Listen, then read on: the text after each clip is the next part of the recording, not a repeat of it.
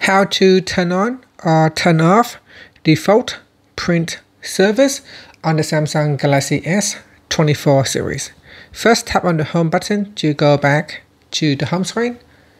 From the home screen, swipe down at the top to open up quick settings. In here, tap on the settings icon. Next, we go down and then tap on connections. Then go down and tap on more connection settings. Next, tap on printing.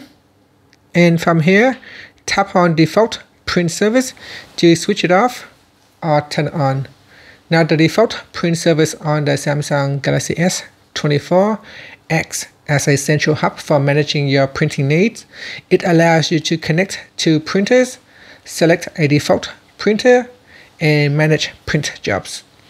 So for Connect to printers, you can use the default print service to discover and connect to nearby wireless printers. This service works with various printers brands through downloadable plugins or by manually entering the printer's IP address.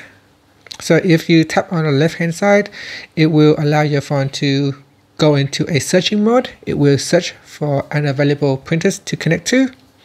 At the top here, is a button. You can tap on that on the more button and then tap on add printer. And in here, you can manually add in the printer by IP address. You can also turn on or turn off Wi-Fi direct printing. And you can also find Wi-Fi direct printer. So that is the default print service on the Samsung Galaxy S24 series. Thank you for watching this video. Please like and subscribe to my channel for more videos.